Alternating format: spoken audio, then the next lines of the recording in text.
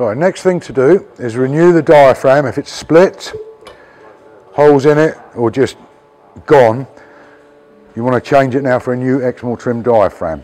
So the way to do that is the hook I described earlier on. A cur curtain hanger will do if you bend it into a hook, but be careful you don't catch your hands with it. So all we do, under the clips, pull and release. Best to do one side first, it makes life easier. The back one's a little bit fiddly.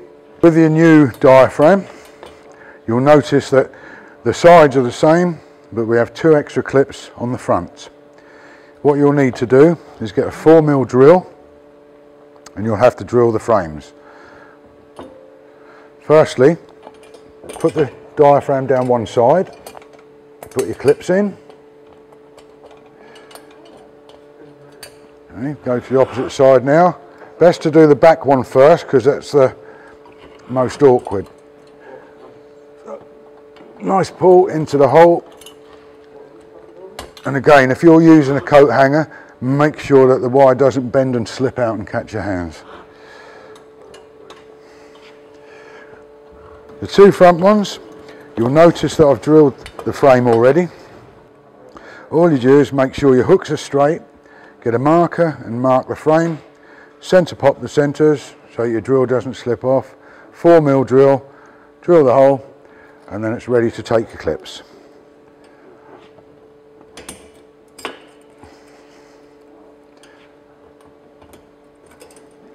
Second one in place, that's your diaphragm fitted. Right, with your replacement seat back cover, you need to turn it inside out about three quarters of the way up so we just got the headrest piece to go.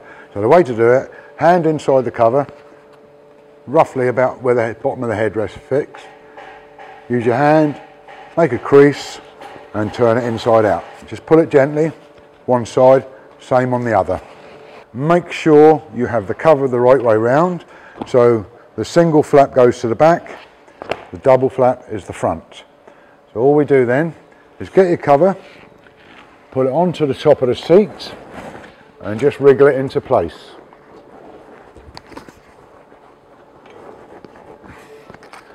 Push your cover down so you can see the top of the headrest. You'll notice on the top of the seat there are two holes in the cover and these need to be put in place over the headrest poles. Just wiggle them around nice and gently, don't try and pull them because they're ripped. Make sure that they're tucked under the flange and that's ready. So you can then drop the seat back down, nice and forward on the bench. We need to get to the first flap ready for fixing. If you pull the foam back, you can see the metal bar there. Chuck your cable tie in so it loops around the bar. Just pull through. Leave it. Do all three. Now all we do now is feed one through the hole, through the cable tie. Don't put it tight yet. Do all three first. All you want to do is tuck that down to the bar Get your cable tie, pull it nice and tight. And then you can do the left or the right, whichever suits you first. Nice and tight. Okay. Just trim them off. Turn the actual lugs of the cable ties into the back. That way they won't poke through and there's no sharp edges. That's the top fix in. Okay, next thing to do is stand the seat back up and what you want to do now is ease the cover down part way. Both sides. Taking care is to leave enough there to poke the bungee cords through. Now with our little homemade hook, we need to bring these bungee cords back through these sleeves on the cover. Feed through, so it comes out the bottom. Get your bungee cord, hook your bungee cord onto your homemade hook. And we have to feed this through the cover. And it's a little bit fiddly because it tends to catch. So you just have to take your time wiggle it. A little twist helps come through pull right through till you get the hook and then leave that on the top of the loop on the cover and that will stay in place. Feed the cover on, so far enough down so that we can then hog ring this back onto the back of the flex ladder, the back of the seat. Just ease it down both sides. Nicely there. Taking care, just adjust the material as you go, wiggle it into place, making sure that all the salvage is the right way. So feed that through, back of the flex ladder, much as you did with the front. Don't pull it tight yet. With your side snips, just cut the cable ties off, nice and short. That's the back in place. You don't have to turn these because they won't poke into anything. Next thing we want to do is your bungee cords now, which are still where we left them. We need to relocate back on the hooks at the base of the back. Now when, when you grab the hook, be careful not to let go as it can sometimes ping back through and you'll have to start all over again.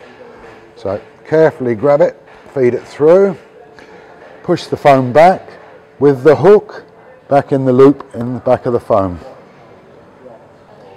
Pull the foam back, that hook into the loop. And that's that in place. Now what I suggest you do on this bottom one is the two end ones are okay. The centre one we won't use. We'll make two small holes, one either side, that matches up the recesses in the foam. So with your bradawl, just line it up so that it's roughly the same both sides. See where you're going to put your cable tie with your flap. Just nice little hole through, just big enough for your cable tie. You need to do the two centre ones. When you fed your cable ties through, notice how I've done that with the actual retaining lug to the bottom of the seat. Do the same on all four. The reason we do this is it's easy just to poke that in through the hole. Pull your cover down, roughly hold it in place with one with your left hand or right hand, whichever. Pull that one tight. Do the one on the outside. Next inner one, and then the last outer one.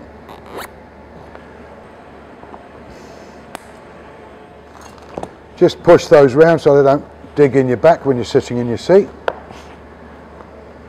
Then we stand the seat back up and we're going to ease the rest of the cover on now, taking care that when we go over this handle shaft. Okay, so if you ease it down a small piece at a time, up to the shaft, same the other side. Don't rush it, otherwise you'll end up ripping it. That will then fold over the shaft.